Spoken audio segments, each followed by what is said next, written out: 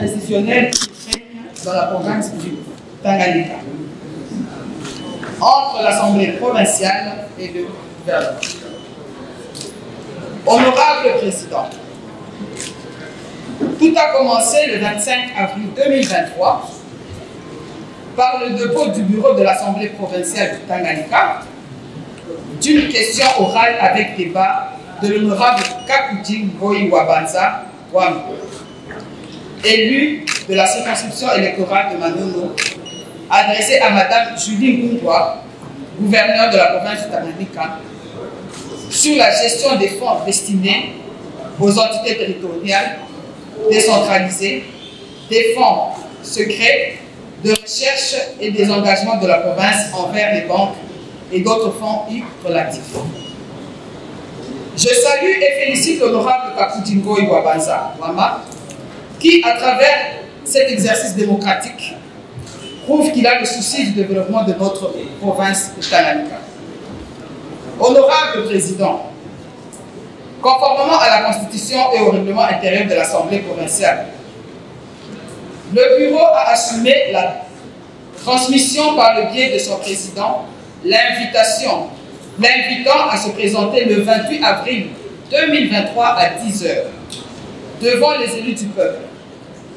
Se sentant dans la possibilité de répondre, elle a exhibé une autorisation de sortie pour les soins médicaux signée par Monsieur le vice-premier ministre, ministre de l'Intérieur, Sécurité et Affaires coutumières.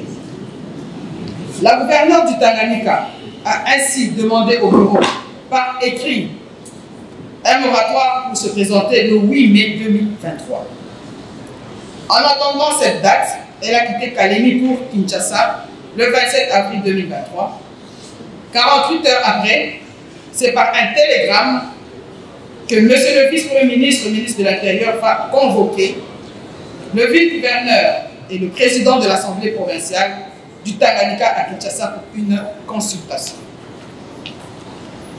Selon les informations en ma possession, le président de l'Assemblée provinciale n'a pas trouvé urgent de partir pendant que la situation politique de la province était préoccupante.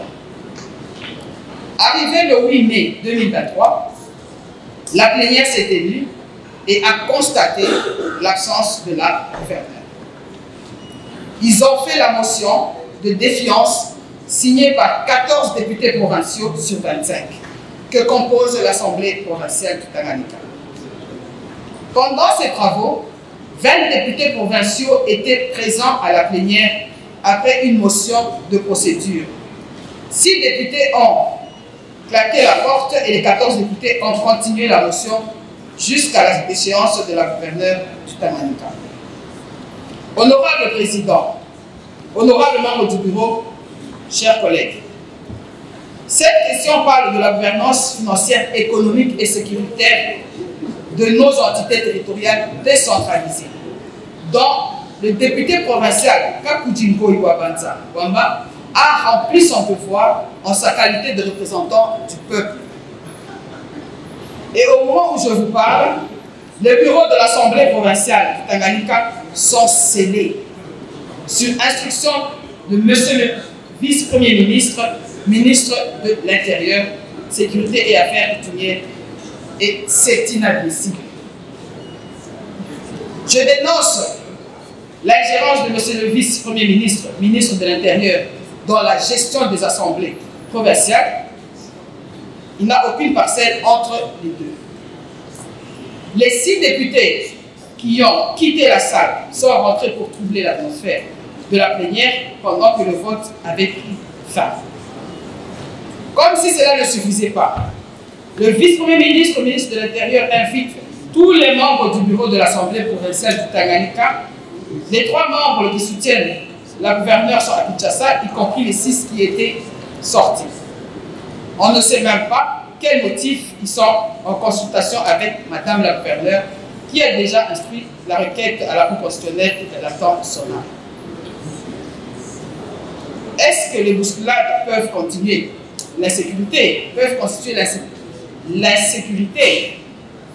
Honorable Président, La décision prise par le, monsieur le vice-premier ministre, ministre de l'Intérieur, viole les dispositions de l'article 61 de la loi 8 012 du 31 juillet 2008 portant principes fondamentaux de la libre administration.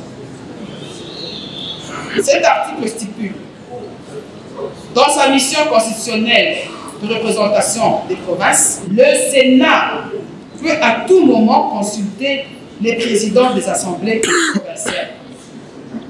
L'Assemblée nationale et le Sénat peuvent par ailleurs dépêcher dans une province une délégation des parlementaires pour une mission ponctuelle. Sous pied de cette disposition de la loi précitée, je suggère d'appliquer son alinéa 2 en dépêchant d'une manière urgente une délégation parlementaire en mission ponctuelle dans la province du Tanganyika afin d'apaiser la population pendant cette période électorale. Aussi, je demande à Monsieur le ministre de l'Intérieur d'ouvrir le bureau de l'Assemblée provinciale de Tanganyika et de retirer les dispositifs impressionnants de la police nationale congolaise qui empêchent les membres du bureau d'accomplir leur devoir. Honorable Président, je dis, je vous remercie. Merci, honorable. Étant une motion d'information, ceci n'appelle pas un débat. Mais je tiens quand même à vous signaler que vous avez les instruments juridiques euh, par rapport à cela. Vous pouvez saisir les bureaux pour éventuellement euh, une suite à cette euh, motion d'information.